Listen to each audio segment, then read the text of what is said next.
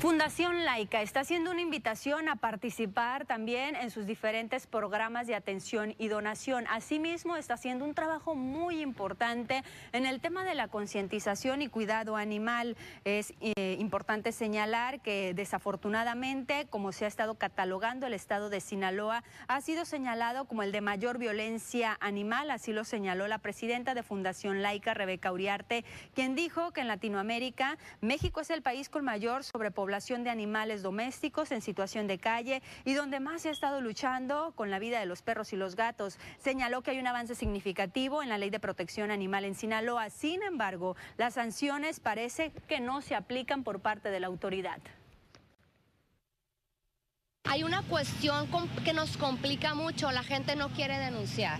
O al, momento que se realizan las denuncias no quieren después hacer, atestiguar, ratificar o hay una falsa conciencia que el subir un video a las redes, pasarlo a los grupos, ya ahí sale evidencia y dicen, ¿por qué no lo agarran? No es así. Hay procedimientos, hay mecanismos legales donde hay que presentar una denuncia, hay que ratificar, hay después hay que llevar a los testigos, hay que llevar las pruebas.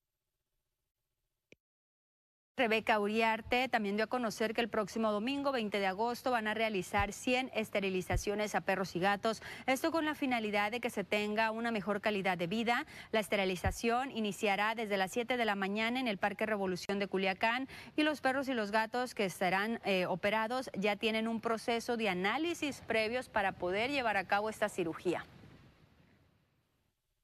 Es importante saber que no todos los animales están aptos para una cirugía. Una esterilización, si bien es una cirugía sencilla, rápida, pero si un animal tiene plaquetas bajas, tiene parásitos en sangre, tiene anemia o desnutrición, ese animal corre el riesgo de morir en la cirugía. Fundación Laica siempre ha sido muy responsable con sus procesos, con sus protocolos y obviamente las campañas masivas no pueden ser la excepción.